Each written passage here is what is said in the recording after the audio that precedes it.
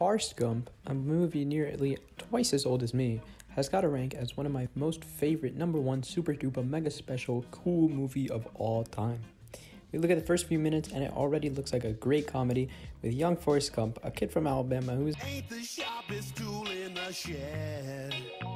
Who is named after Nathan Bedford Forrest. And if you haven't watched the movie, you're probably thinking that this guy must be a pretty famous guy and maybe an American hero. Well, he was actually the most feared cavalry commander of the Civil War. Yeah, he just happened to be a Confederate and he happened to be the first Grand Wizard of the KKK. Anyways, because Forrest is one fry short of a Happy Meal, his mom has a discussion with the principal to allow him to enter school.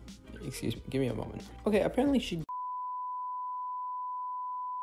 Keep in mind that this is a PG 13 movie. Anyways, Forrest gets a nice education in Greenbelt, Alabama, and befriends Jenny on the bus, who becomes his best friend. He learns a lot about Jenny and how her father is a very loving man. And I'd like to reiterate here that uh, this movie is a PG 13 movie. Anyways, back to Jenny. Because of all the garbage that occurred to Jenny, she becomes a very troubled person. And many people would consider that she is a complete piece of crap. But while Jenny was living the hippie life, Forrest was accomplishing the American dream.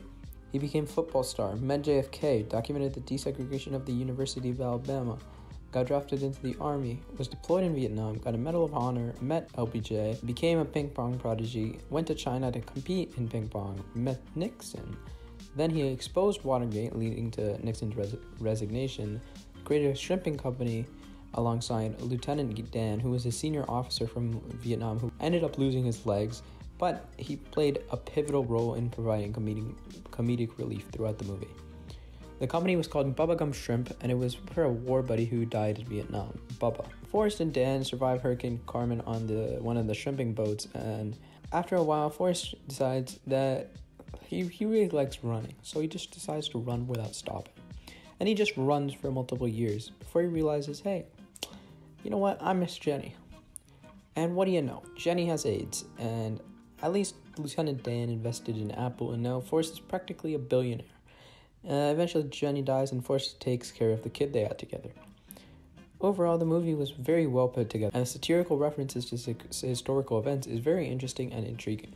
It motivates the viewer to keep watching, keeping them on the edge of their seat to find out what wacky event is going to be referenced next. The movie didn't really seem to have any pious or political agenda, which made the movie much better since I'd prefer a comedy movie that is just fun to watch and way more laid back.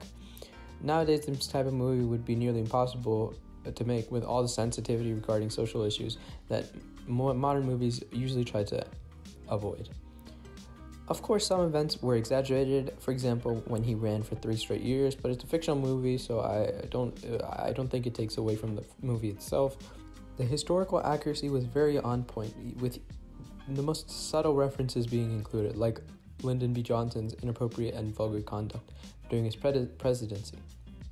Overall, the underlying purpose is to describe the randomness of life and how anything can happen to anyone, and it deserves an Oscar. Oh, wait, it won six.